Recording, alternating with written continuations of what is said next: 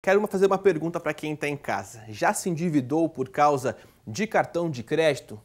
Tem hora que vira uma bola de neve, né? Uma pesquisa mostrou pra gente que mais de 30% dos brasileiros não sabem o quanto gastam no dinheiro de plástico. Meu Deus, especialistas alertam que essa prática realmente pode se tornar uma grande bola de neve e pode pôr em risco todo o seu planejamento financeiro. Dá uma olhada.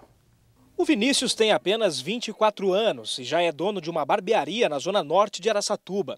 Ele sempre foi muito preocupado com as contas. E quando o assunto é cartão de crédito, a atenção é redobrada.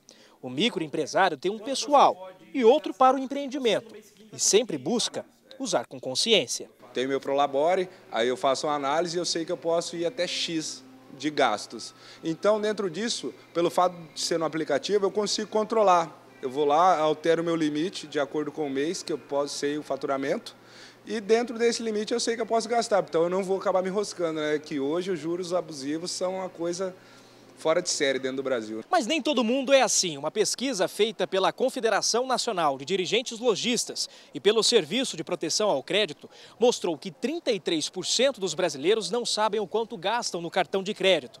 E aí, acabam se endividando. Atrapalhei tudo uma vez e agora eu tomo cuidado, né? Eu já fiquei com o nome sujo uma vez, eu tive que ralar para pagar tudo. Paguei 3 mil reais de cartão de crédito. Hoje eu não estou mais endividada, mas eu já me endividei. Sujei meu nome por causa do cartão de crédito. O estudo mostrou ainda que 25% das pessoas entrevistadas entraram no rotativo, quando é pago somente o valor mínimo da fatura.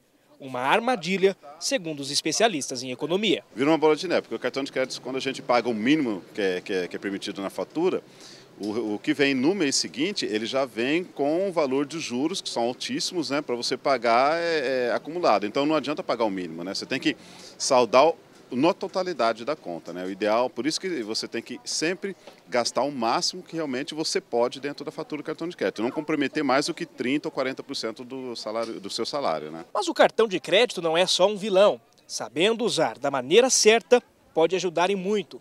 Por isso, algumas dicas são importantes. Cartão de crédito ele é realmente algo assim que a gente precisa ter muito cuidado, porque a partir dele, se a gente não tiver os cuidados necessários, a gente pode é, levar a, a, assim, a falência da pessoa. Né? Isso daí significa você pagar juros. Né? E cada vez que a gente paga juros muito exorbitantes aqui, é, aqui no Brasil, cada vez mais exorbitantes, nós não temos recursos para guardar dinheiro, investir dinheiro em outras coisas, né? Com muita consciência sempre, né? Saber até onde que você pode.